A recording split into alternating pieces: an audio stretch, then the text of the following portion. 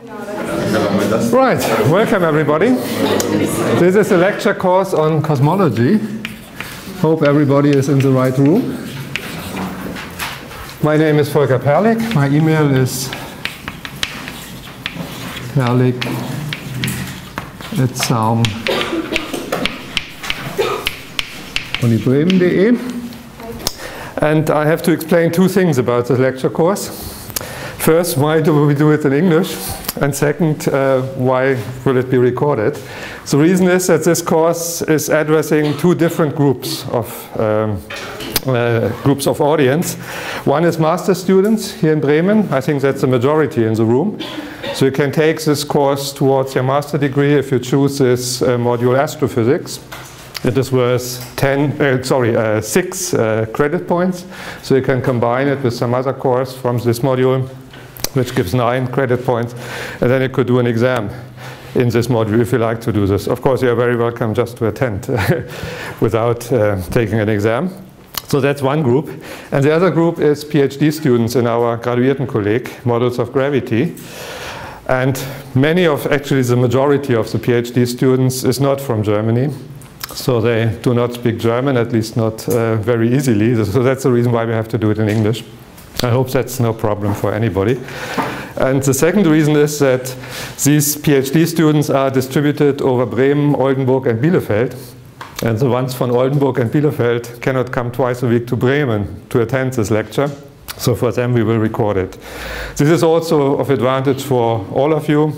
If you miss a lecture, you can watch the recording afterwards. So I think that's, and the camera is, is uh, pointing above your head, so you're not in the in the frame. You can behave quite quite uh, quite relaxed.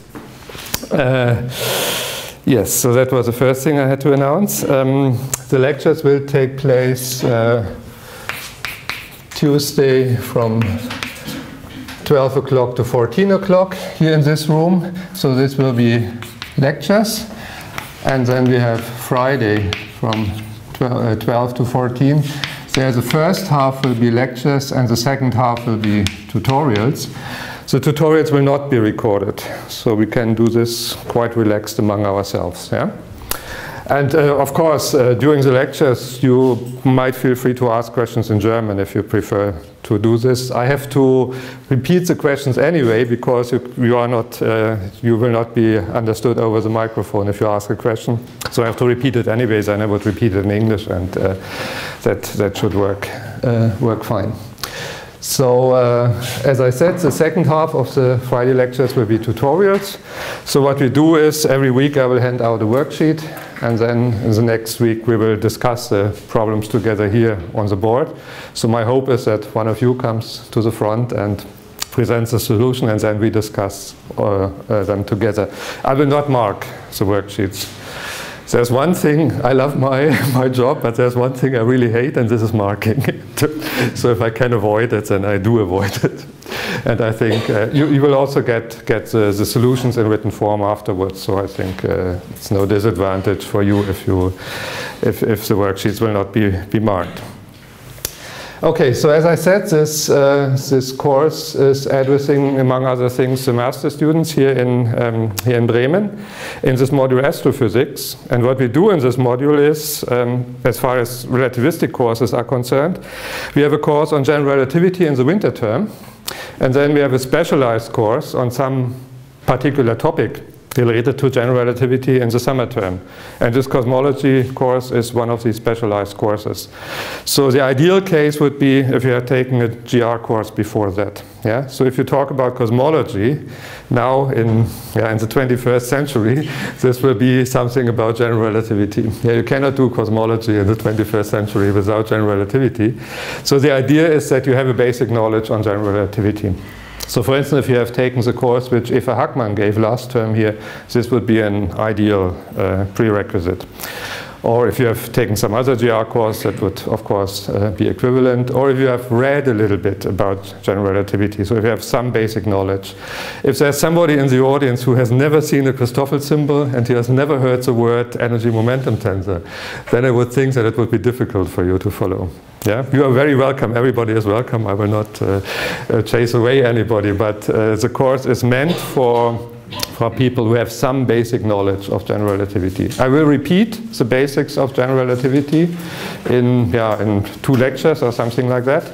But uh, of course, this must be very short, yeah, because we want then to talk about cosmology. And uh, so it's, it's meant more like uh, yeah, reminding you of the basic notions and introducing the, the notation, not more than that. But if you have never heard about general relativity before, then it will probably be uh, a little bit difficult for you. Okay, uh, a little bit about uh, uh, literature. So as I said, I will, uh, I will send, uh, or have I said it? If not, I say it now. I will send out written lecture notes at the end of each week, together with the worksheets for the next week. And um, uh, this will be more or less precisely what I've done on the board. But nonetheless, I would encourage you also to read other sources, to take some other textbook for complementary reading or some review articles. And for that, reason I will give you some, uh, some references. So this is a yeah, very personal view, very personal selection. Of course, there's a huge literature on cosmology. So I will mention a few textbooks on general relativity, which have extensive uh, chapters on cosmology with sections on cosmology. And as I said, I've chosen my, my favorite ones.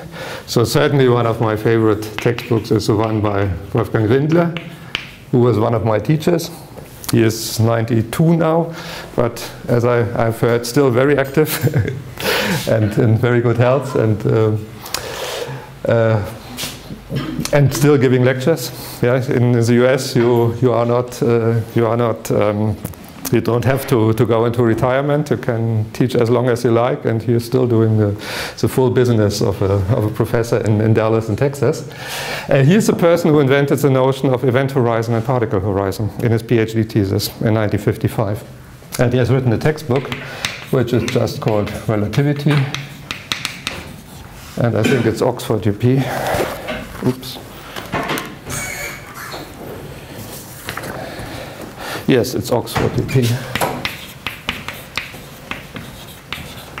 And the most recent edition is from 2001, I think. The older ones. But uh, so this, I, I, would say maybe the, the, the, last quarter or maybe even the last third of this book is about cosmology. And it is as easily readable as a textbook on GR can be. Yeah? If, it, if you speak on GR, you cannot, it cannot be a really easy read, yeah, but it's as easily written as it can be. So he keeps the mathematical formalism to a minimum, concentrates on physical interpretation, and it's didactically very well written. And uh, so for a first reading, that's one of the books I always recommend most. Then there is a book by Hans Stephani. He was a member of this, this famous Jena group in the GDR worked on exact solutions of general relativity and uh, uh, Hans Stephani wrote a textbook first in German and then it was translated in English. Then it's also called Relativity and the English version appeared with Cambridge UP. And the most recent version appeared actually posthumous in 2004. I think Hans Stephani died in 2001 or 2002. So this is all. Uh, this is mathematically. It goes more into mathematical detail than the book by Wolfgang Rindler, but uh, it's still. I wouldn't say it's mathematically sophisticated. So it also keeps the formalism fairly basic. And then one of uh, again one of my favorite, where in particular the chapter on cosmology is, in my view, very well readable and uh, gives a very good introduction into the modern development, is a book by Lewis Ryder its introduction to general relativity.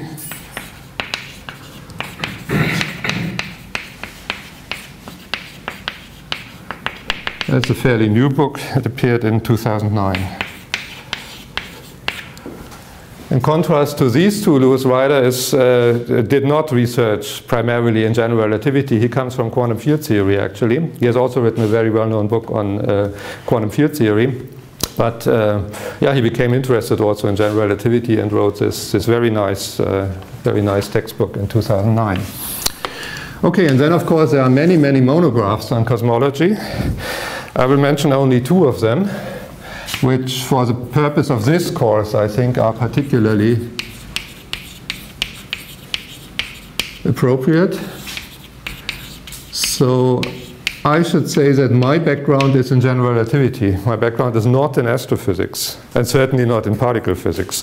So if somebody with a background in astrophysics or in particle physics talks about cosmology, he would do it in a different way than, somebody who comes from, from general relativity. So for instance, Steven Weinberg, the famous particle physicist, the Nobel Prize winner, he has also written a book on general relativity and cosmology, but he, as a particle physicist, he sweeps the geometry completely under the rug.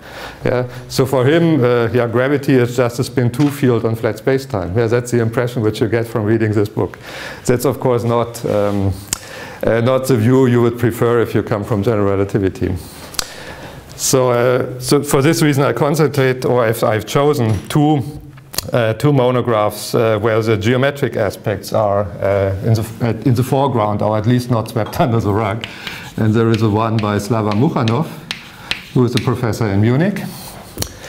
He's Russian, of course, uh, as you can uh, assume from his name, but he is since many years in Germany.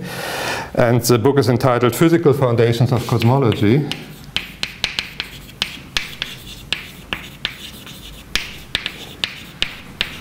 And the first half of this book covers more or, less more or less exactly what I'm planning to do here in this lecture course. Uh, well, of course, it covers much more, but uh, everything of this kind is contained. This is again Cambridge University Press. I'm not paid by Cambridge University Press, but actually, mo most of the books I will mention are, are from them. So, actually, I'm, my personal relation is more with Springer, but uh, these books I've chosen here, they are almost all from Cambridge.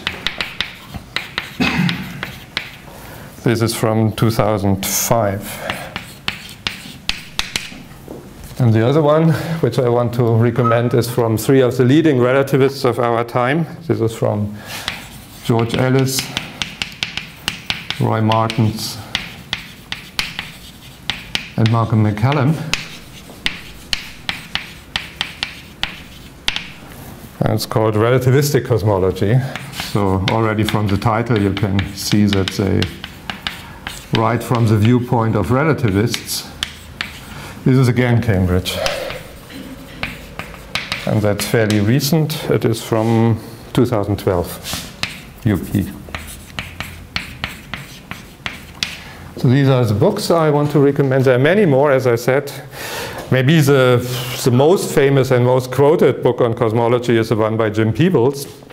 So I should mention this also, but uh, he is also a person who doesn't come from the geometric side. So for this reason, I would say that it, it's an excellent and very interesting textbook, but for what I'm planning to do here in this course, I think these two are more appropriate. And then there, of course, there are many review articles. Uh, well, if you have a relationship to relativity, then you know probably the series of living reviews in general relativity. So that's a series of online articles which are supposed to be regularly updated. Not all of the authors actually do this regularly, but that's the idea. That's why they are called living reviews. So, and there are three of them, at least three of them, which are of interest for, for this course here. I want to mention them also. So you find them online under, what is the address? http uh, relativityliving-reviews.org. No, it's this little L. That's, let me write it readable.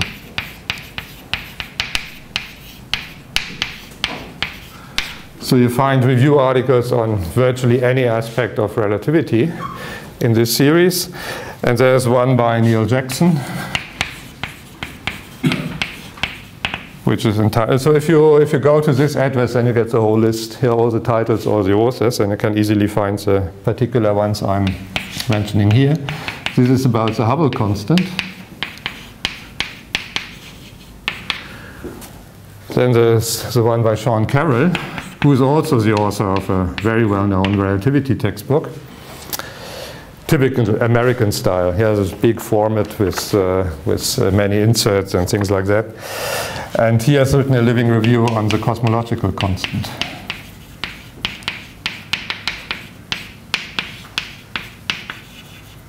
Oops. And finally, the third I want to mention is by Jones and Lasenby. Anthony Lasenby is also co-author of a well-known textbook on GR. This is on the cosmic microwave background. And of course, all three subjects, the Hubble constant, the cosmological constant, and the cosmic microwave background will play an important role during this course. Okay, so much for the literature. Oops. And uh, well, I will give more specialized uh, references uh, when we when we talk about particular subjects. Yeah, what is the content I'm planning to, to cover in this course? Maybe I should exchange this, maybe it's better readable. Oops. Oops. So as I always do, or most, uh, with most of my courses, I begin with a historical introduction. So it's my belief that, well, it's certainly not necessary to know about the history of a subject in order to, to understand what's going on. But uh, in my view, it's always very helpful if you can, uh, yeah, if you can uh, put uh, the things into a historical context. So I will begin with a historical introduction. That's what I will, I'm planning to do today. Then I will give a brief, uh, how did I, review. I call it a review. Yeah, this is maybe even too strong a word. It's just a brief recap of general relativity.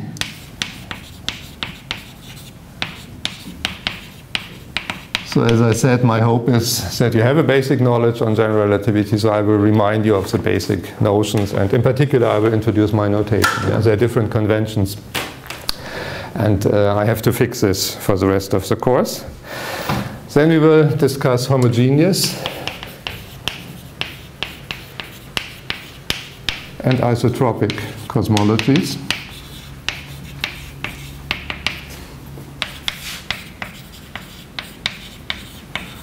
So the space-times which satisfy these symmetry assumptions, so we assume that the space, not the space-time, the space is homogeneous, so all points in space have equal rights, and all directions have equal rights. Yeah, so that's, uh, of course, it's an idealization, but it's astonishingly um, uh, isotropic as a word, isotropic. Uh, yeah, it, it uh, carries uh, astonishingly far, actually. So the, yeah, the bigger part of cosmology, what we nowadays assume to be correct and what we, what we do in order to describe our universe as a whole, is done within these models. And then the rest is put on top of it in, the terms, in terms of small perturbations. Yeah? But the homogeneous and isotropic models, they are the basic and they, they cover most of the, of the qualitative features. And if a spacetime has this symmetry, yeah, if a spacetime model is spatially homogeneous and isotropic, then one calls it the Robertson-Walker universe. So we will speak about Robertson-Walker universes. And here we will discuss in particular the redshift distance relation, for instance. Redshift distance relation. We will talk about horizons and other things. So this part will be purely kinematic in the sense that the field equation is not used. Yeah, so this is a, a subsection. So I, the terminology is not quite unique in the literature, but I think the historically correct uh, terminology is to call a model a Robertson-Walker universe if you just make the symmetry assumption, if you don't speak about the field equation. If you look for solutions to the field equation within this model, then you get what is called the Friedmann solutions or the generalized Friedmann solutions. So you can do it with cosmological constant, without cosmological constant, and so on. So we will, this, uh, we will uh, separate this uh, section into two parts. This is purely kinematical without the field equation, and this is with the use of the field equation. And then we will confront this with observation.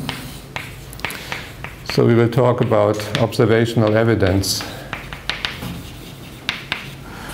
for homogeneity and isotropy. So we will then discuss to what extent these theoretical assumptions are actually verified by observation and isotropy.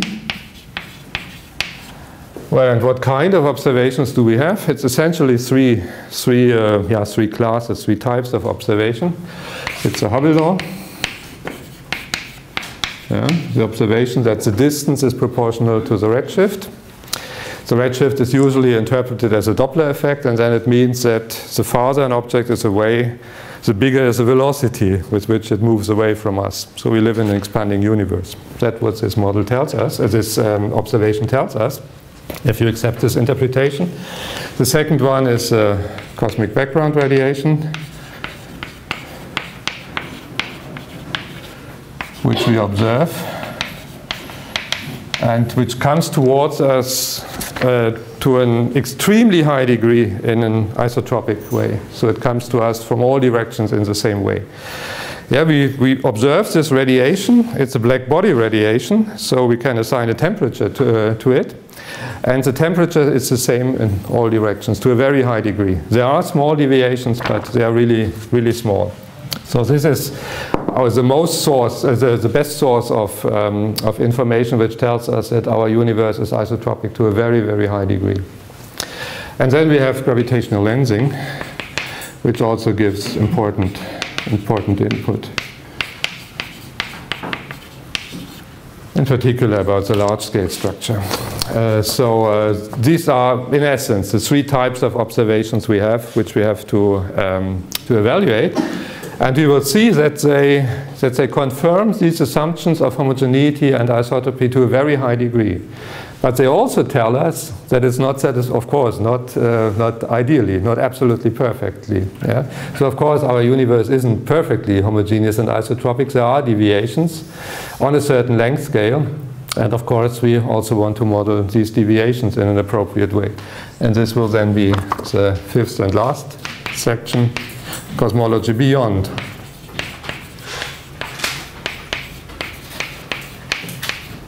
Uh, homogeneity and isotropy.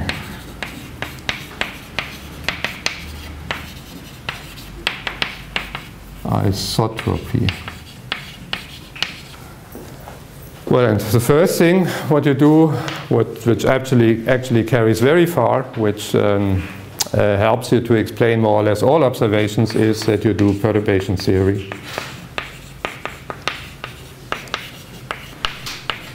So you start out with a homogeneous and isotropic universe, and then you apply small perturbations to it, and you try to explain all the observations which we have in terms of these perturbations. But, uh, well, being a relativist, be, uh, coming from the theory of general relativity and uh, being interested in exact solutions, of course, I also want to talk a little bit about exact solutions, which are not homogeneous and isotropic. So, exact cosmological solutions of the field equations beyond the Friedmann solutions. Cosmological solutions to the field equation. It depends a little bit on time how much I will, I will do. So we have to see how far in the semester we are if we have reached this point.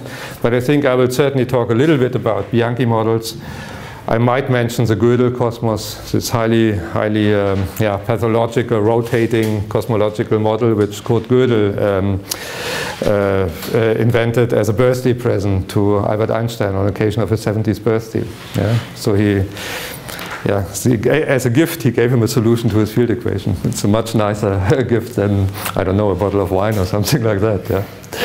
So that's uh, the Gödel cosmos. Um, and uh, yeah, I think that's that's it. But uh, what what I, maybe Kantowski Sachs, but uh, probably Bianchi models a little bit and uh, Gödel, and then.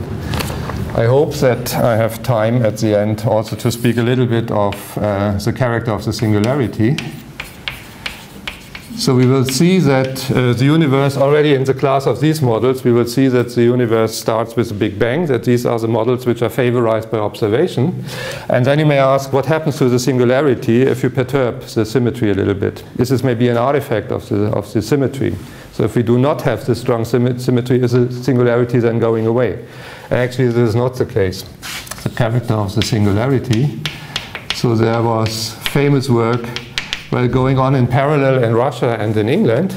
In Russia, it was um, uh, brought forward by, by three gentlemen by the name of Belinsky, Khalatnikov, and Lifshitz, usually abbreviated BKL. So they studied uh, uh, the way in which the singularity is, um, is approached. And in parallel, so this actually they began a little bit earlier. I think the first paper from this group is from 1960. And then a little bit earlier, 64 or so, Penrose and Hawking started working on, the, on their famous singularity theorems, Penrose-Hawking. I think most of you have heard about this. It's a work which made uh, Stephen Hawking famous, singularity theorems. And I hope that I can say a few words about this Certainly not in very great detail. Actually, two times in my life I have given courses on the singularity theorems, where the whole course was on these theorems. And I couldn't cover the proofs of all three theorems in this, in this course. Yeah? So when we have here maybe a week or so for this, I will, uh, I certainly it will not be possible to give more than a yeah, than a, a, flavor of what this is about. But I want to address this uh, subject in, uh, in some way uh, to make sure that, uh, or to uh, to emphasize to you that this, um, this conclusion that our universe started with a Big Bang, if we accept this classical theory of general relativity, that this conclusion is not an artifact of the symmetry. Yeah? It can be proven under very general assumptions. So the assumptions are something like uh, the energy density is positive and um, and some uh, and the so-called generic condition, which is satisfied in um, in all spacetimes, with the exception of a set of measure zero. This kind of assumption goes into the theorem, but no symmetry assumptions. Okay, and that's it. So I hope that uh, I can cover this in the course of um, of this of this term. And now we can begin with a historical introduction. So, as I said,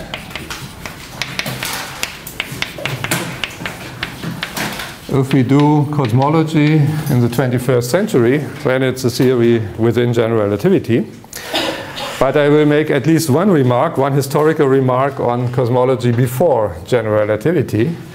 And this is related uh, to a person who, um, who lived here in Bremen, namely to Wilhelm Olbers. So my first, um, my first entry here is from the year 1826. So this was definitely before general relativity. And this was uh, the time when Wilhelm Olbers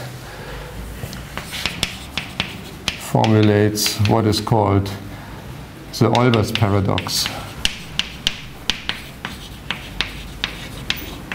Actually, the Olbers paradox is really a big problem in Newtonian cosmology. So if you want to formulate a cosmological theory with a Newtonian theory, then this is a serious problem. And um, well, what is it about? Uh, Olbers started out from the simple question, why is the sky dark at night? So obviously the sky is dark at night. So if the sky is dark at night,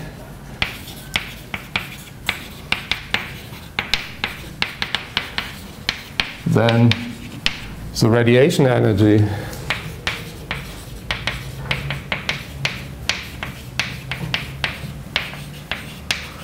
from all stars which arrives here. Here all the stars are radiating, the light comes towards us, and the radiation energy is infinite, provided that yeah, the universe is static and eternal. And that's what most people assumed at this time for ideological, philosophical, or maybe even religious reasons. Yeah? So the idea was our universe exists forever, it has the same form at all times. And Newtonian physics is true, of course. And then it's, it's actually an easy calculation that the sky should not be dark at night, it should be yeah, blazingly bright. So if, if a child asks uh, uh, its parents, uh, why is the sky dark at night, the parent would probably answer, because the sun is down, yeah? Because the sun is on the other side. But there are also the stars. And if the universe is infinite, and if it is eternal, then the stars should produce an infinite radiation. And this, the calculation is easy. Let's assume each star has a, a luminosity L, a true luminosity L, and if it is at distance r, then what arrives here is L divided by 4 pi over r squared. Yeah, because the total luminosity distributes over, uh, over the sphere of area 4 pi r squared. And now if, this is for one star. Now if the stars are distributed with a density n, and they are really everywhere in the universe, then I have to integrate this expression over the whole, over the whole Euclidean space. So I have to integrate theta from 2 to pi, phi from 0 to 2 pi, and r from 0 to infinity. And the volume element, as you hopefully remember, is this here. I should use the same theta here and here. dr, d theta, d phi, right? So that's the radiation energy which arrives with us here from all the stars. Yeah? This is the luminosity of each star. This is the density of the stars. Yeah, and the rest is uh, just uh, Newtonian physics, Euclidean geometry. Well, and uh, even I can integrate this. So if I integrate, uh, uh, well, first of all, well, you might assume that L and N are constants, and I can take them out of the integral. If you assume that they are not constant, if the different stars have different luminosities and the density is not quite constant, you could use the mean value theorem. And again, you could pull the Ln out of the integral. So let's do the second argument. Yeah. Ln averaged. That puts this, this in front of the integral. That's the mean value theorem. Then we have the 4 pi here. The arc squared cancel, right? And then what do I have? I have an integral over sine squared theta d theta d phi. This gives again a 4 pi. And I have only the r integration. Okay? So this goes away. And this integral obviously is infinite. this is infinite. So this was a little calculation Olbers did in 1826. And he came to the conclusion, well, the universe is, uh, the, uh, the, the, the, sky at night should be, should be bright. It should infinitely bright, not dark. And well, obviously the sky isn't infinitely bright. So what is what is the reason? Something, some of these assumptions uh, obviously are not true. And Olbers suggested an explanation. He said, uh, well, probably there is matter between the stars which absorbs part of the radiation. Yeah. And then, so the stars which are far away, they have to take a long way through these matter between the stars, so their radiation is largely extinguished by absorption. What do you think? Is that a good argument? no? Yeah. Why not? it's. Yes, yes. The idea is that the universe is, is uh, sorry, is eternal and static. So then, if this situation has reached where everything is eternal and static, then there should be thermal equilibrium. Yeah, so there should be thermal equilibrium between the matter between the stars and the stars. But this means that the matter radiates in exactly the same way as the stars are radiating. Yeah, so this is actually no explanation. So Olbers really made a made a mistake when he uh, when he argued in this way. Actually, Olbers was not a physicist; he was a, a medical doctor. That was his main pro uh, main um, uh, profession. But uh, he was very much interested in astrophysics he, uh, and astronomy, I should say, not astrophysics, astronomy mainly. He was a discoverer of uh, one of the um, uh, one of the planetoids. I don't quite remember which one. Does anybody? I'm sorry. Vesta. Okay. Uh, and um, uh, well, he, uh, he um, was very influential for the development of, of, astronomy here in this area, here in Bremen and around Bremen. So um, Schröter in Lilienthal was a, was a friend of his, and um, so they established here a, a, an, important, um, an important center of uh, astronomy. But uh, when in this case, uh, actually his, uh, his explanation was not a good explanation. And actually I think there is no good explanation if you accept the assumptions. The assumption is that Newtonian physics is correct, that the universe is eternal and that the universe is static. Whatever you assume, if you stick with these assumptions, you run into a contradiction. Uh, for instance, if you assume uh, the stars do not fill the universe uh, uh, infinitely, yeah, if you assume there's an island of stars, of course this cannot be static and eternal. It would collapse under its own gravity immediately. Yeah. Or um, yeah, what else could you assume? Or of course you could assume that uh, that uh, the, the stars are, are flying apart. Yeah then uh, an island could exist. Yeah, it could, uh, you could start with an island, but with an expanding island, but that would not be static, of course. Yeah? So whatever you do, you run into a contradiction to some of the assumptions. So as I said, this is known as Olbers paradox. And, uh, but uh, to be historically correct, one should mention that actually the observation is much, much older. And uh, yeah, there's a whole book on this Olbers paradox by Harrison, the famous English uh, cosmologist. And uh, he has, uh, yeah, um, uh, uh, he has, has, been digging into the history of Olbers paradox in quite some detail. And what he found was that the first who actually addressed this problem was Thomas Digges. He was um, a contemporary of Giordano Bruno. This was in 1580, around 1580. And uh, together with, uh, with Giordano Bruno, and at the same time as Giordano Bruno, he was the first who thought about the idea that um, the stars could actually be suns. Yeah? That the stars could be physically exactly the same thing as our sun. This was at this time a revolutionary idea, and Giordano Bruno uh, died for this idea on the stake in Rome, as you know. Right? He was burned by the, uh, by the Pope. And not only for this reason, but uh, this was one of the one of the things for which he was indicted. That he claimed that our sun is uh, just the same thing as, as, as, the stars up there, and there are infinitely many of them. So Digges also uh, brought this idea forward in England. So he was uh, the Inquisition was uh, not so not so influential in England. So he was not burned on the stake, but. Um, uh, he had very similar ideas in this respect to, to Giordano Bruno. And uh, he also mentions this problem that then actually the universe should be bright, that the sky should be dark. And uh, as far as I know, he did not offer any solution to this. Then Kepler was aware of this. Of course, uh, you all know about Kepler. And he addressed this problem, when was it? In 1610 also apparently without giving a reasonable explanation. And exactly the same calculation which was done by Olbers in 1826 was already, has already been done almost a century before that by a Swiss gentleman by the name of Jean-Pierre de Chezeaux. I have to admit that I have never heard this name before or in any other context, but he made well, not in this notation, but uh, he made exactly this, this calculation in 1744.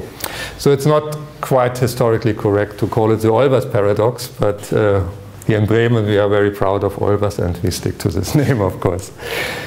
So this was um, yeah, a problem which remained unsolved in Newtonian physics. Uh, just, uh, yeah, uh, jumping ahead a little bit, uh, does anybody know how this problem is solved in general relativity?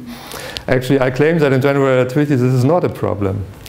So, do you know in which way it is solved? Does anybody know this? Well, you certainly know that the universe is expanding in general relativity. Yeah, we assume this, so it's not static, so we drop the assumption of staticity. But we still assume that the universe is infinite. So we would still have the conclusion that the that, uh, um, uh, that uh, we would have to solve something very similar to this integral, yeah, even if the stars are now expanding. But there's another important, important new aspect in the general relativistic um, um, theory. Does anybody know what, what saves us from? Yeah. It's either expanding or contracting. That's what uh, equation. Yes, where the standard model assumes that from the beginning until now it's it's always expanding. So, and uh, if the universe is actually infinite, and if we could, uh, if we would have to solve this integral up to infinity, then you would still get an infinite brightness. Yeah, but it's not really infinite. That's the point. It's neither infinite nor um, uh, infinitely old. Yes, that's the point. We don't have to, uh, actually we are not allowed to integrate up to infinity because there was a big bang in the general relativistic theory. So we don't see, right now, we don't see the whole universe we see only those part which is within our event horizon. And this is only part of it, so we have a finite quantity here. Yeah? So the Big Bang saves us. The finiteness of time if we go backward in time. This is uh, the solution which general relativity has to offer for this uh, for this problem. So in a sense, you might say that uh, the fact that the star is, that the sky is dark at night, this is an indirect evidence for the for the Big Bang that uh, that our universe uh, is not not infinitely old. Okay, but I'm jumping ahead. We will talk Does about. mean that, that we don't see just the, the whole light from the stars? Yes, we don't see all. We don't see the whole universe. Okay. There's something like an event horizon. We will talk about this in great detail. Yeah, we see only part of the of the universe. There are stars or galaxies or clusters of galaxies which are so far away from us that the light didn't have time enough to travel towards us uh, since the beginning of the of the world. Yeah, we only see a finite a finite part of the universe. Okay, but this is, uh, as I said, jumping jumping ahead. So actually, the history of this of uh, cosmology, of general relativistic cosmology, of course, began in 1915 when Albert Einstein formulated his field equation. And I think you all know that this happened in November 1915 because we celebrated the 100th birthday of this, this event a few months ago. Albert Einstein presents field equation of general relativity, what we call the Einstein equation. And uh, in which form did he do this in 1915? He did it in the form without a cosmological constant. Yeah? So let me write it down. So this is the Ricci tensor, this is the Ricci scalar, r half g mu nu. And then there's no cosmological constant. And now I have to look up, do I want to have a plus or a minus? I never know what, uh, to which conventions I, uh, I have a plus. Kappa is Einstein's gravitational constant, and T mu nu is the energy momentum tensor. So I will remind you in the next lecture what these quantities mean, but I hope that uh, all of you have seen this before. So the essential thing is this was a field equation without a cosmological constant. Here is no cosmological term. And well, as soon as uh, field equation was around, Einstein, of course, uh, discussed uh, all kind of consequences. Very, uh, very uh, shortly after he had established the field equation, he discussed the issue of gravitational waves in 1916. I think you all have heard that gravitational waves now finally have been detected last September. So the announcement was made uh, February this year. Actually, if I had known that this announcement would come, then I had um, given a course on gravitational waves in this term. but uh, I think I will do this next year, next year again. So I've done it two years ago with, together with Claus Lämmerzahl. So we did a course on gravitational waves. And it's certainly now time to do this again. So next summer term I will talk about this. Uh, Einstein also, well actually Schwarzschild then very soon after this, uh, the field equation uh, was presented, uh, Schwarzschild found uh, the solution which is named after him, which describes uh, space-time around a, a, spherically symmetric star. And another thing which Einstein did was that he looked for cosmological solutions. That he looked for a solution which could describe the universe as a whole. And he made the simplest assumption for the energy momentum tensor, so that it is, uh, yeah, it should not be more complicated than a perfect fluid, and everything should be homogeneous in space and isotropic in space. And he found that it was not possible to construct a static solution. At that time, not only Einstein, but the vast majority of, of all physicists, astrophysicists, cosmologists, was of the opinion that the universe should be static. It should be the same at all times.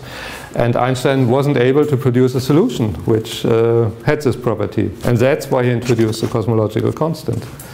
So this was in 1916. So again, introduces the cosmological constant, which is nowadays unanimously denoted with capital lambda. Actually, in the original paper by Einstein, it's denoted with a lowercase lambda. But today we all write a capital lambda, so this gives an additional term. Plus lambda is a constant, no half, no half, sorry. upper T mu nu. So he just introduced it by hand, not very well motivated at this time, because he wanted to produce uh, a static cosmological solution.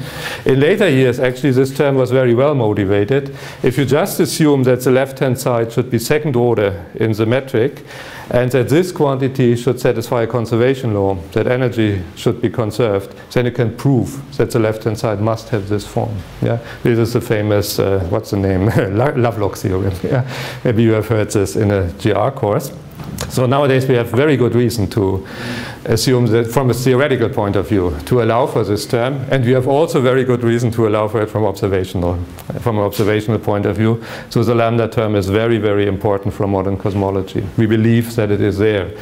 Actually so I should finish the sentence. Introduce a cosmological constant to get static cosmological solutions and with that, actually, he got a, a, cos a, static cosmological solution, which is called the Einstein universe.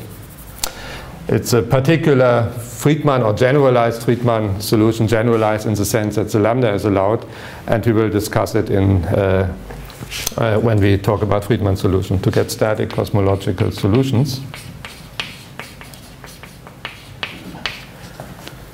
So Einstein introduced this in order to get a static universe. Now you all know that nowadays we don't believe that the universe is static. Since the 1920s, the late 1920s, there is some evidence that the universe is expanding, and nowadays we are absolutely convinced that the universe is expanding. And when Einstein uh, uh, learned about this new development, he is supposed to have said that introducing the cosmological constant was the biggest blunder in his life in German, größte Eselei meines Lebens. And um, this is reported by Georgi Gamow, the famous cosmologist. He claims that Einstein said this to him in a conservation conversation.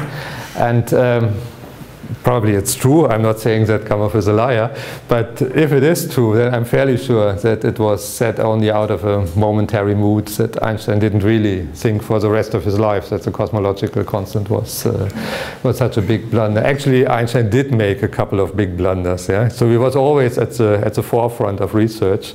He always did very revolutionary and very audacious things, and it's it's quite clear that fairly often you are on the wrong side of the of the thing. So he did make a number of uh, big mistakes actually. In the mid 1930s, for a while, he thought that gravitational waves wouldn't exist. Right? He soon realized that this was an error, but uh, it was a big error actually. And he also he had completely wrong ideas about what's going on at r equal to m in the Schwarzschild spacetime. Uh, so he never uh, got the right idea that this is only a coordinate singularity. So he did make big blunders in his life, but I think this was definitely not a big blunder. I think this was actually a very good idea. And the cosmological constant will accompany us uh, through the rest of this course. Okay, this was, uh, I already mentioned Friedmann. So Friedmann was not very much later. So after 1915, 1916, then a group, not a very big group, but a certain group of scientists started working on exact solutions of these equations, and they found a couple of them. Schwarzschild found a solution named after him. Hermann Weyl found a lot of solutions. And uh, Friedmann was the first to intensively studied cosmological solutions. So he wrote two papers, one in 22 and the other one in 24. Alexander Friedmann. Uh, yeah, finds homogeneous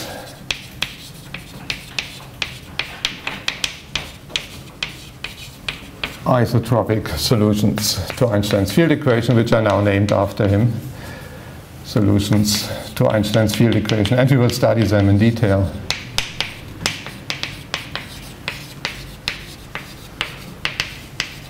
And they have a strong tendency, Friedmann did it uh, without cosmological constant. It, later it was generalized to the case with cosmological constant. That if you do it without cosmological constants, then the general feature of these solutions is that they cannot be static. Yeah? So, and also Friedmann found solutions which are actually expanding. And uh, while he discussed them uh, more from a mathematical point of view, he didn't really speak about uh, physics, so he didn't really claim that our universe uh, is expanding, that it started with a singularity. But actually, this, this was what the equation suggested. Also, this paper has a, has a sort of funny history because when it appeared in Zeitschrift der Physik, uh, he wrote in German. Yeah? He was a Russian. He was in St. Petersburg, but he came from a German Jewish family and he wrote these papers in German in Zeitschrift für Physik. And Einstein wrote a comment to this. And uh, the comment by Einstein was that he believes that this result is wrong. Yeah? He, uh, he said that uh, I find these results suspicious, verdächtig, yeah? and I believe that uh, um, um, uh, Professor Friedmann applied the field equation in the wrong way. That was his comment. And uh, a few months later, actually, Einstein uh, uh, corrected this and he said, actually, I made a calculation a mistake. Friedmann is right. Yeah. So, uh, but it appeared in uh, it appeared with this with this comment from from Albert Einstein uh, in the first version.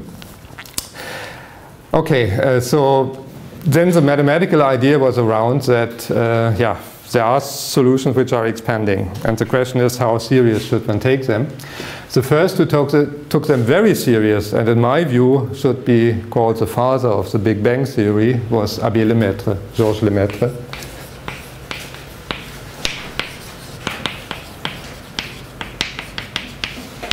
I think that's uh, spelling. He was Belgian, and uh, yeah, as I said already, he was an abbé, so a, Catholic priest. Yeah, so if you see pictures from him, he has this, this characteristic uh, robe of a, of a Catholic priest. So he's one example that uh, being a religious person and being a scientist talking about modern cosmology is not necessarily a contradiction. There are other ones. Yeah? So the, the Vatican Observatory uh, has, uh, has uh, also many, many uh, well-known and uh, important cosmologists. So nowadays there's no, no um, contradiction between doing modern cosmology and being, a, being a believing Catholic. This was different at the time of Galileo, of course, yeah? and Giordano Bruno in an extreme way. okay, so Georges Lemaitre um, yeah, rediscusses the Friedmann solution. Actually, he did it also with a cosmological constant.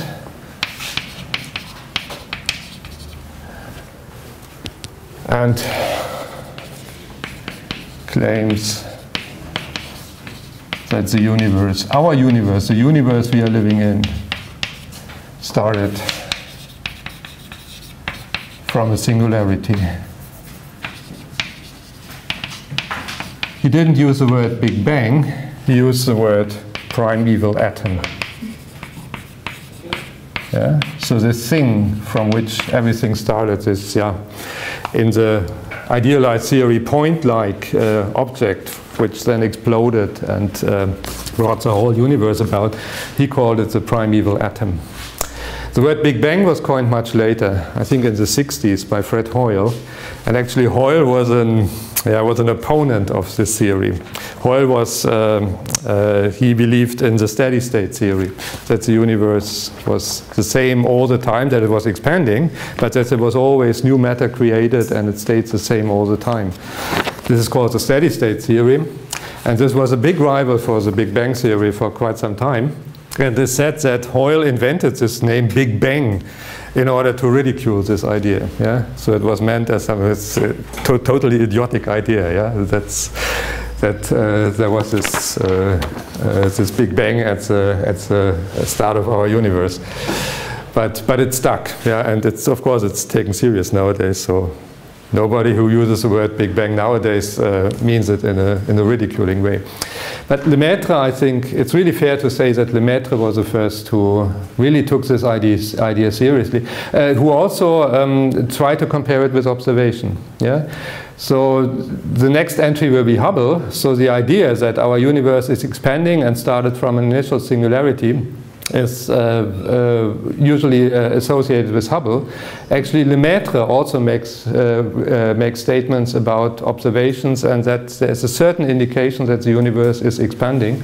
He didn't really um, yeah, corroborate it with, with very strong observational evidence, but at least he, um, he thought that there's, there's good reason to assume that our universe is expanding. So Lemaitre should really be, uh, uh, be mentioned um, together with, with Hubble and Gamow, which I mention a little bit later, when, uh, when it is about the, the fathers of the Big Bang theory. Lemaitre was the first. And then 29 came Hubble. I think you have heard about this. Edwin Hubble, the American astronomer, yeah, uh, establishes, let me write it this way, the distance redshift relation.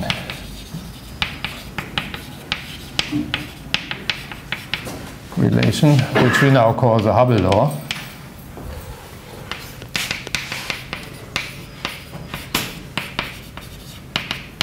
So what did he do? He was an observing astronomer, right? So he had observations, he, and he made himself observations together with Humason in the United States. And what he plotted was the distance of galaxies, and here's a redshift.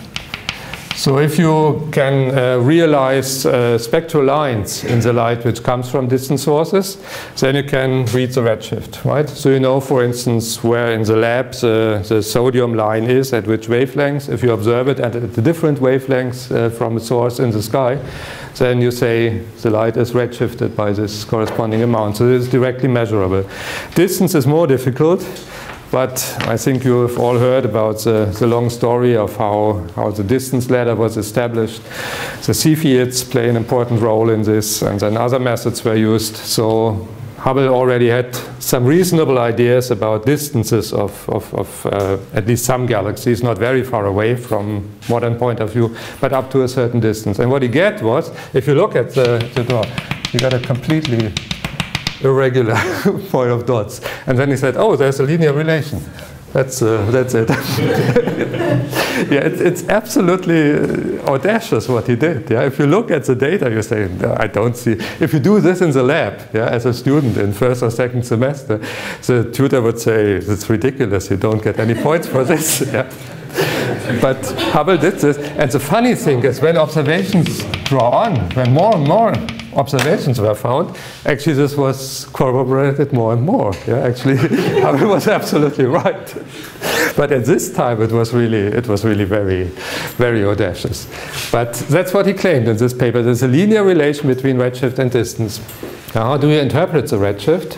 Well, the most natural way is to interpret it as a Doppler effect. Yeah, if something is redshifted, something is redshifted if it moves away from you. Yeah, that's a Doppler effect, which we know very well from sound, and this is also true for light. Well, relativistically, the formulas are a little bit different, but uh, in essence, it's uh, very similar to sound. So um, if you interpret the redshift in this way, then it means that the galaxies are moving away from us. Yeah? And this means we live in, a, in, an expanding universe. So usually what you read in, uh, yeah, in uh, popular books about astronomy is that Hubble established the fact that our universe is expanding. Actually, if you look at the papers, that's not what he claimed. In this respect, he was very careful. He was audacious in drawing this, this line, but he was very careful as far as interpretation is concerned. He doesn't say in the paper that the universe is expanding. He just establishes this linear relation. But of course, this was, um, this was exactly what Lemaitre had, uh, had uh, claimed before. And um, uh, well, the observation, as I said, it, it, uh, uh, they, were, they were carried on and they became better and better, and uh, the linear law was was uh, verified uh, very well. And uh, very, very shortly after this time, more or less everybody was convinced that actually our universe is expanding. And uh, in particular, Einstein gave up the idea of a, of a static universe uh, immediately after that, or very, very shortly after that. So the idea of an expanding universe, as I said, was brought forward by Lemaitre. But uh, the work of Lemaitre was more or less purely. oh, there's another thing. Before I come to Gamow, I should mention Zwicky. This was in 1936. This is something which became later very, very relevant for cosmology. Fritz Zwicky, the famous Swiss born astronomer, postulates dark matter.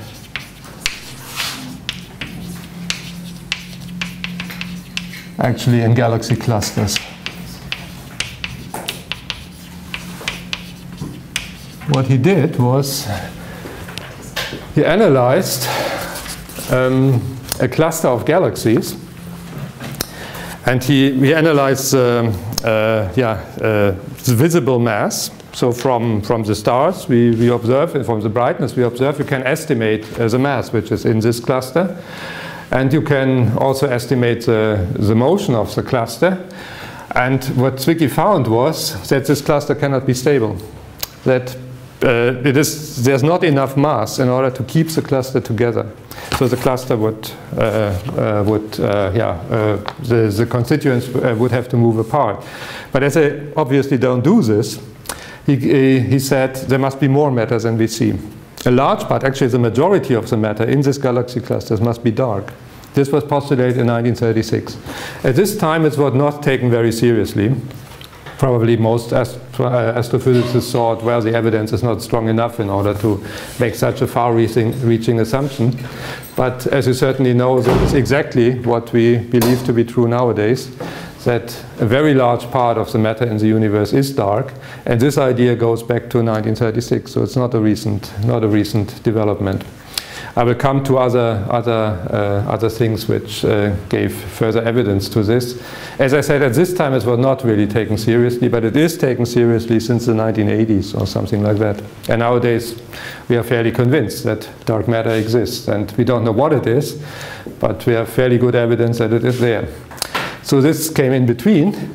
So I was talking about uh, yeah, the initial singularity. Lemaitre had called it the primeval atom, but he had discussed it uh, yeah, not really from a physical point of view, I would say from more from a geometrical point of view. Yeah, he was considering Einstein's field equation. He said, aha, the solution has this property, and uh, then there must be this initial state. The first who really thought about the kind of physics which was going on at a very early stage of the universe, very, very shortly after this, this thing had exploded, was Georgy Gamow, the Russian physicist. This began in 46, I think. So he was a Russian, but then he emigrated to the United States, and he made this work actually in the United States. So he investigates the state of matter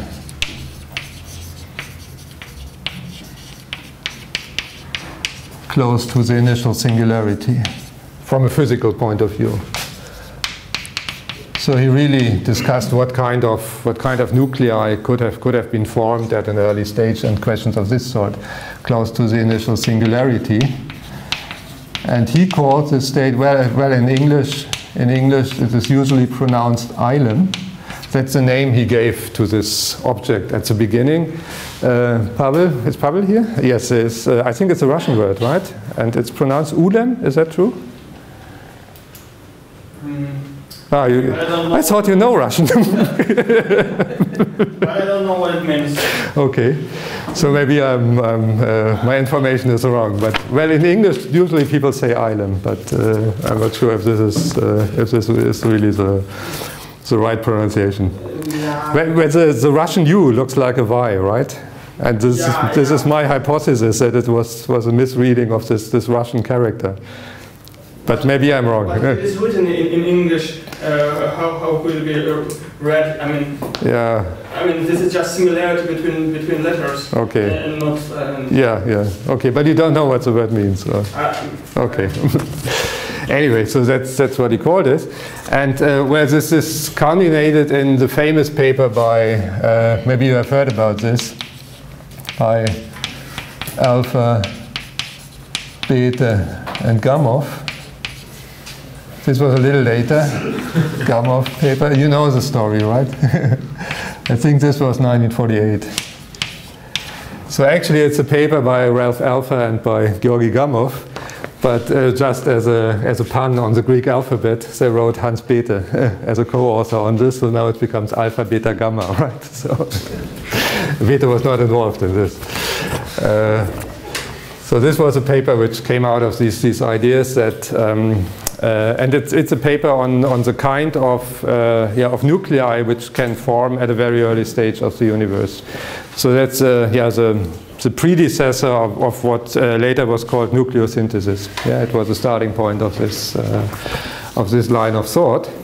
And actually, the paper where Gamow is involved, in these papers, there is nothing about the cosmic background radiation, uh, well, at least not at the beginning. The first paper where the cosmic background radiation is predicted is a paper without Gamow. It's often said that Gamow uh, was, uh, was uh, the person who, um, uh, uh, who predicted cosmic background radiation. Probably he was involved in the discussion, but in the first paper where it is written, he's not an author. It's by Alpher and Herman. And this is also 48. Well, Alpher and Robert Herman. Predict cosmic background radiation.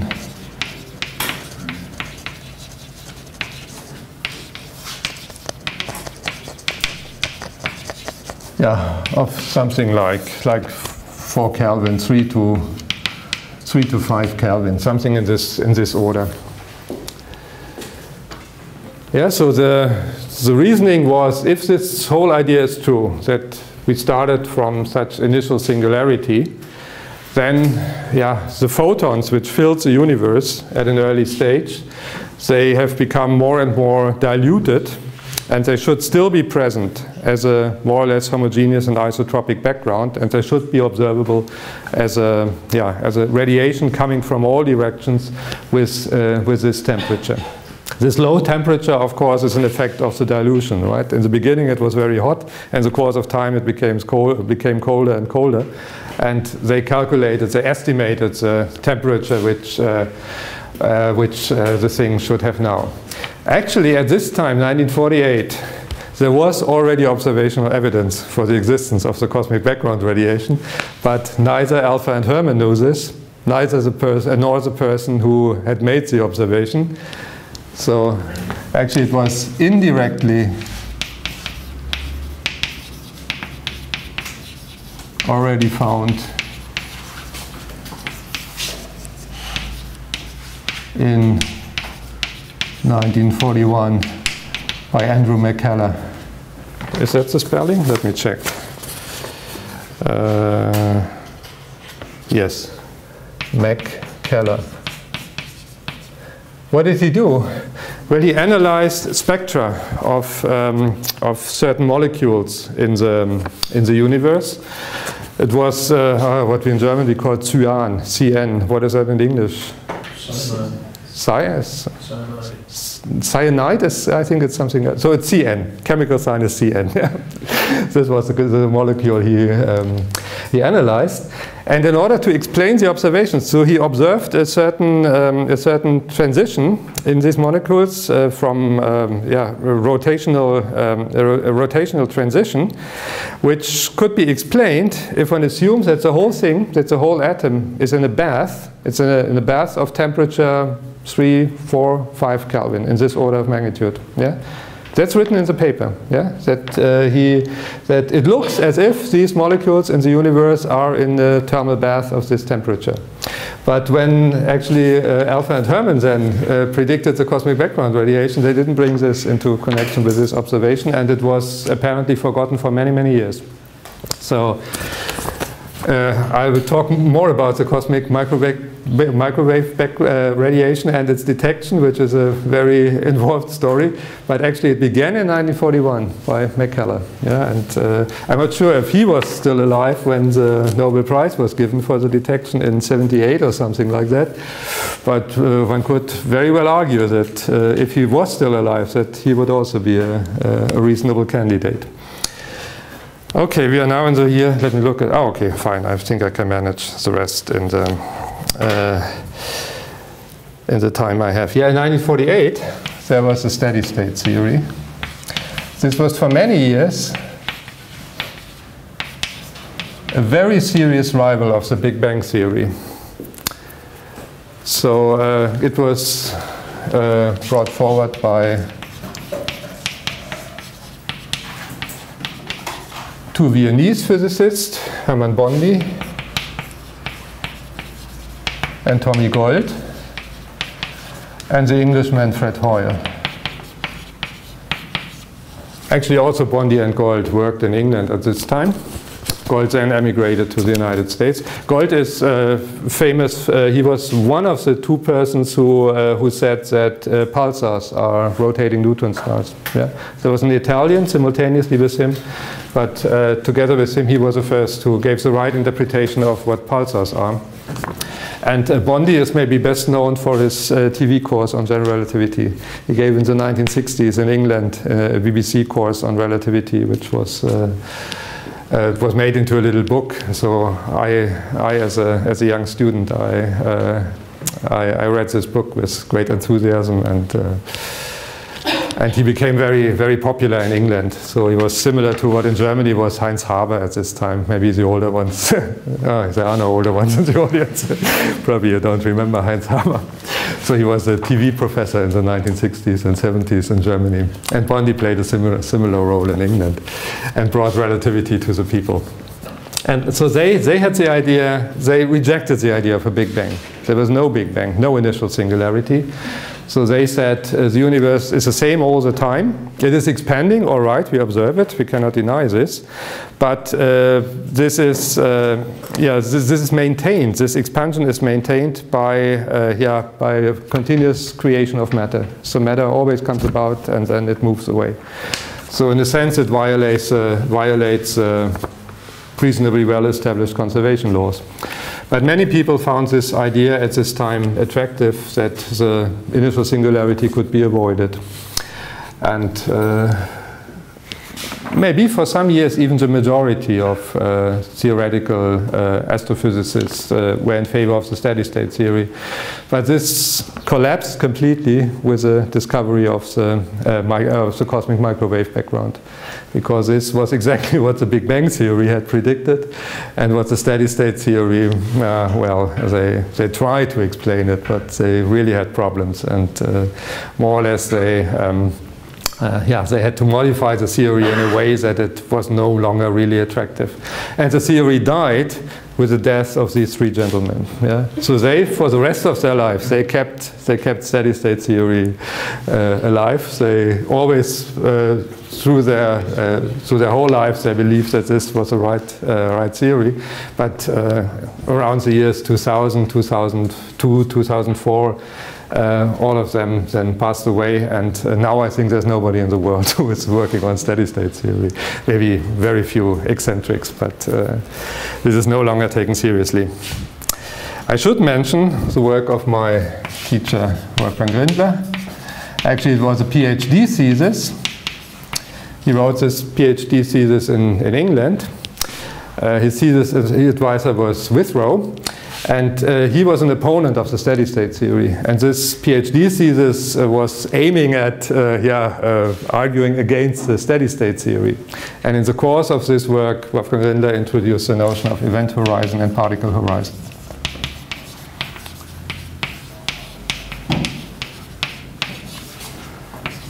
I think you all know that the notion of event horizon is crucial for understanding of black holes, but this was not what it was originally meant for. It was formulated in, uh, in the context of cosmology.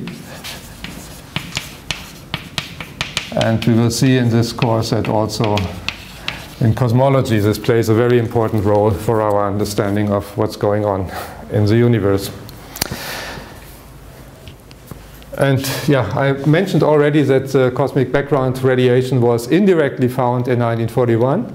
Actually, it was directly found three times in the mid-50s. This is very little known. This was in the years 1955 to 1958. It was three times independently discovered. The first was Emil Le Roux, The first was a Russian gentleman with a complicated name. I have to copy this. Tigran Shmaonov.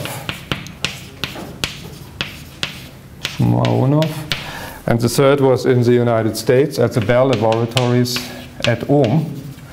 At Ohm, find the cosmic background radiation.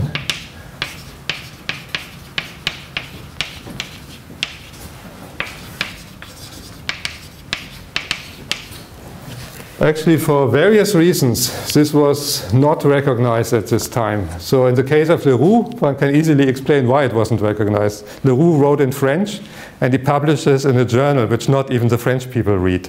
A completely unknown journal. So this is, of course, the most stupid thing you can do. Yeah? So that's the reason why this was, this was found only decades after the paper appeared. Yeah? And yes, yes, uh, you did the observation in a very similar uh, spectral range as uh, later by Penzias and Wilson. I will come to Penzias and Wilson in a, in a moment. He did it with a very similar instrument, and uh, exact uh, if he hadn't if he hadn't been so stupid to publish this in this uh, in this uh, obscure French journal, he would have got the Nobel Prize. Certainly. Um, and it was the other two. they also Shmaonov made these observations in in Russia. And uh, apparently it wasn't really uh, yeah, disseminated at this time. And Ohm did it at the Bell Laboratories. This was known as a rumor by some people, but uh, yeah, it was not considered to be sufficiently strong evidence to. Um, actually, the, the, Russians knew about this. Yeah, so so Novikov and uh, and Doroshkevich in uh, in Russia they knew about this work this work by Ohm, but uh, apparently they misinterpreted. So they didn't really read from this work that uh, cosmic background radiation has already been detected. But uh, in hindsight, in, in Peebles' book, in the introduction of Peebles' book, this, uh, this is, or, or, was it, sorry, no, I think it's a different book. No, no, no, not Peebles. In some, in one of the cosmology books, in the introduction, the story of the cosmic background radiation is described in, in fairly great detail. And uh, um, well, there, if, if you read this, actually the evidence is fairly clear that the cosmic background radiation was found already in the, in the 1950s. Okay, then uh, the, uh, yeah, the theoretical study on the singularities began. Uh, yeah, this was the whole period, I would say, between 60 and 70. Um, the initial singularity was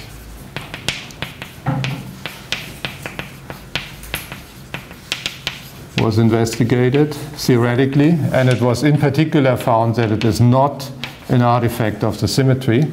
So there's this Russian word work BKL, Belinsky, Khalatnikov, Lifshitz. I had mentioned this before, and Penrose Hawking in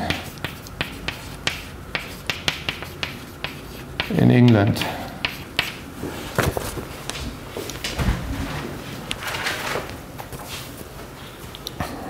So coming back to the cosmic background radiation, 1946 was an important theoretical paper where the cosmic background radiation was clearly predicted with precise um, numerical values, also what was to be expected by Novikov, Igor Novikov, and Andrei Doroshkevich.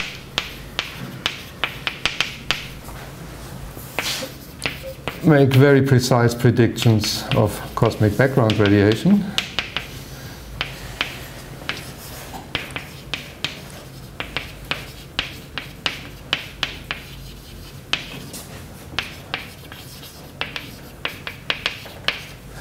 At the same time in the United States, Robert Dicke and his group also started um, yeah, uh, actually looking for the, uh, for the, they started the program actually looking for the cosmic background radiation. Actually, it was found then, the official discovery, which was recognized, was by pure accident. I think you know about this story. It was by Penzias and Wilson. In, it's a, it's a Holmdel um, radio telescope. Arno Penzias, German-born, uh, American physicist, and uh, Wilson, what's the first name? Robert, I think. I think it's R. Wilson. Detect the cosmic background radiation.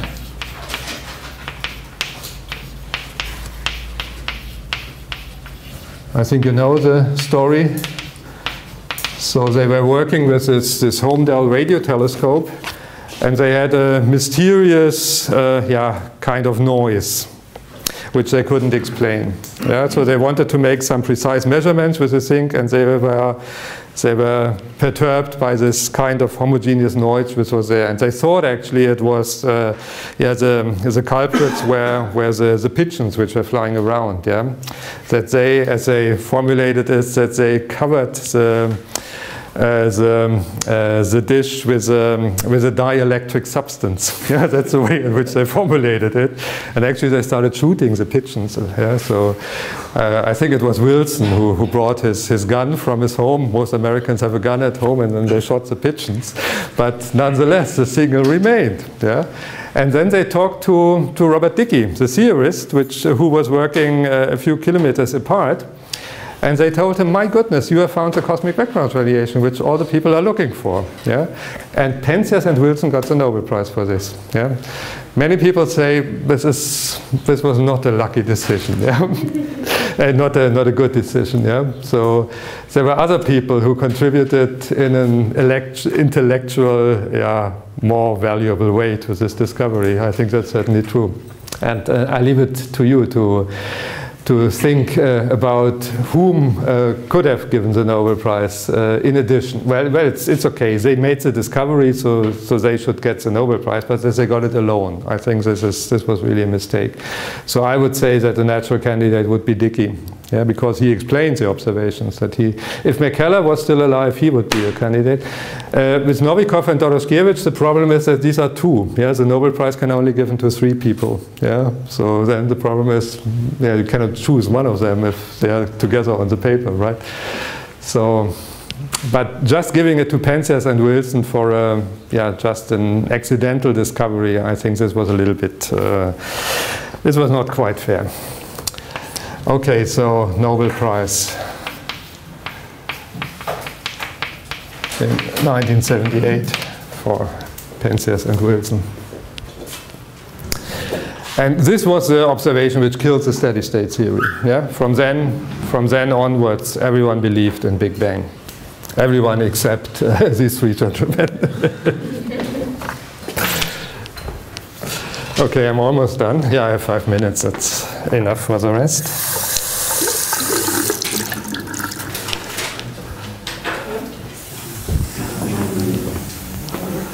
Yeah, I've talked about dark matter. dark matter was predicted by Zwicky, but as I said, nobody took it really serious at that time. In the 1970s, there came additional evidence for dark matter, and then it was taken seriously. And the person who brought this forward was the American astronomer Vera Rubin. She observed rotation curves in galaxies so she looked at galaxies which are viewed edge on in the sky, and by analyzing the spectral lines, she could discover with which velocity one side comes towards us and the other side moves away from us. And by analyzing these rotation velocities, she found that the matter which is in the galaxies is not enough to produce these rotation curves. So the way in which the velocity changes with radius should be completely different if the matter which we see is the whole matter. So she also concluded there must be dark matter in galaxies, not in galaxy clusters. Zwicky had argued there must be dark matter in galaxy clusters. Now there was additional evidence that there is dark matter in galaxies. And the two things together now make a fairly strong argument. So from then, from this time on, was a series of papers. First, she investigated the Andromeda galaxy in 1970, and then other galaxies in the following years. And in the course of 10 years or so, she had accumulated such an amount of data that there was really very, very strong evidence that dark matter exists in galaxies. And that's what we believe up to now that there is dark matter in galaxies. We don't know what it is, but we know that it is there. So this was Vera Rubin. Let me write 70 to 80.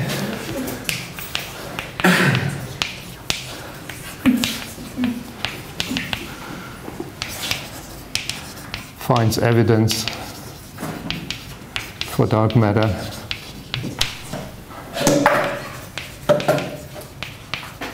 In galaxies by analyzing rotation curves.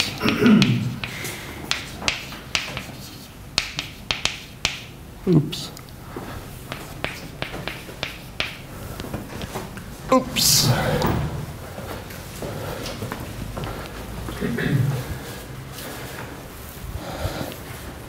On a theoretical side, in 1980, a new idea came about, which proved very, uh, very fruitful.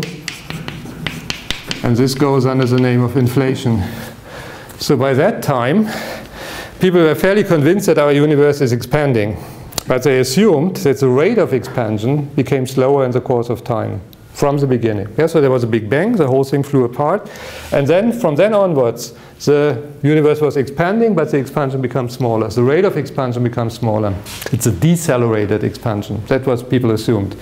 But in the year 1980, inflation was brought forward, which was the idea that there was a period early in the universe where actually the expansion was very rapidly accelerating. Yeah? And that's what one calls inflation, meaning blowing up. Yeah? You know this from, from finance, yeah? that something becomes bigger. That's what inflation means.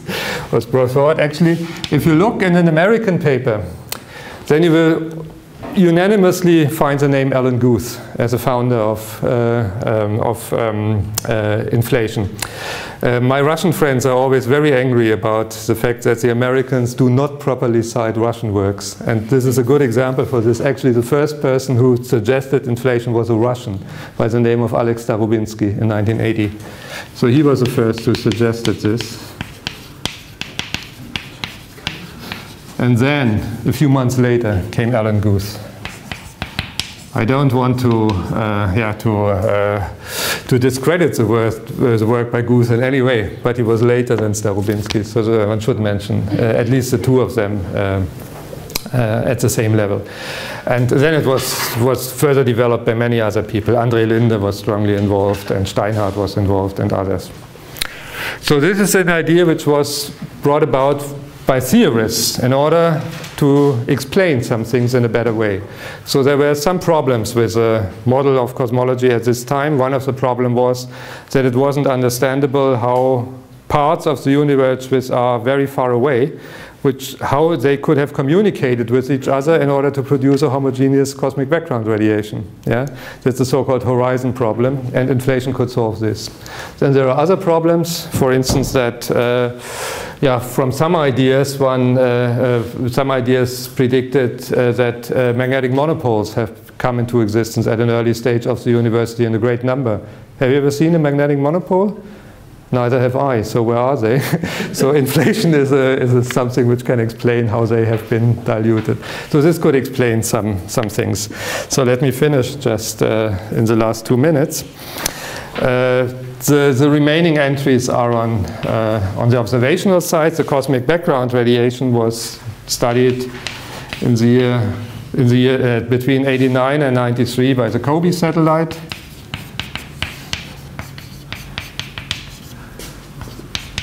Studies cosmic background radiation.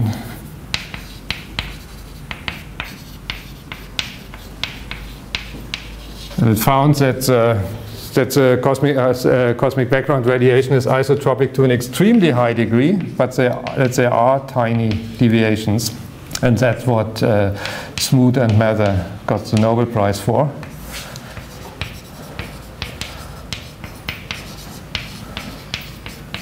So they were two of the PIs of this project, the Nobel Prize in 2006.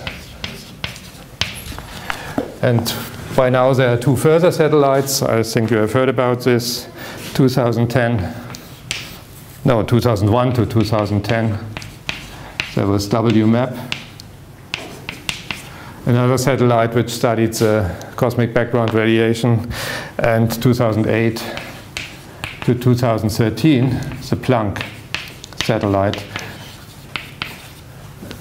So the information on the cosmic background radiation we got from these um, very precise information we got from these two recent satellite uh, expeditions. And the last thing I mentioned, I should have I should squeeze this in here. In 98, the idea of dark energy was established. So the accelerated accelerated expansion of the universe. Not in an early stage, not only in this uh, inflation, but now. That right now our universe is not decelerating, expanding, but accelerating, expanding. It was established by investigating, um, by using a certain type of supernovae as uh, standard candles, and that was uh, Perlmutter, And Schmidt got the Nobel Prize for. We will discuss this, of course, in detail. When was it? 2011? Uh, exactly. And that uh, requires the idea of dark energy. So dark energy was, uh, was invented in order to explain this uh, accelerating expansion. The word dark energy was coined in exactly this year by Michael Turner. Yeah. Dark energy is, yeah, what dark energy is, that's a different question. we will discuss this in detail. But that it must be there in order to explain this observation, that's a fact which was established in this year. Okay, I'm already one minute over time, so I think I stop now and see you again on Friday.